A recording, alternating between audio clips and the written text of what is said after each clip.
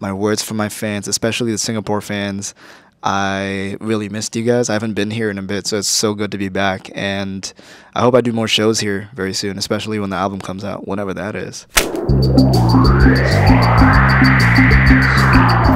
Hi, Bandwagon Asia. I'm Rich Brian. The thing is, if I'm performing at a new audience who's never seen my set before, I would just do the same set just because I think it doesn't make sense to do a whole new set because they're missing the last one too.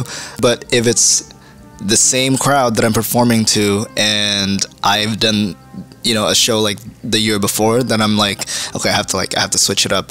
So I would, you know, do some new things, make the stage look different. Hopefully, I'll have some new songs out, so I'll perform new songs.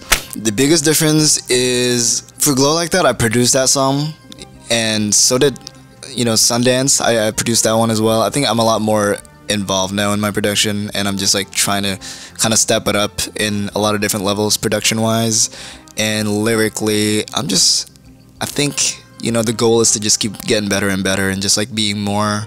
Uh, authentic to myself and what I like. I think authenticity is is the the goal to keep getting better and better at every time.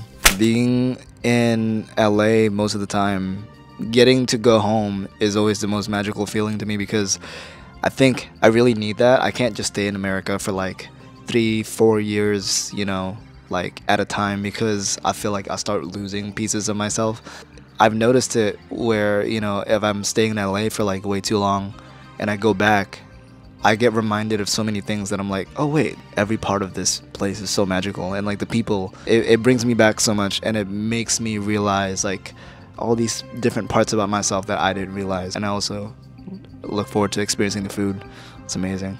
I, am working on an album right now. I've been working on it for quite a bit. So, you know, people have been on my Instagram just being like, where's the new album? It's coming.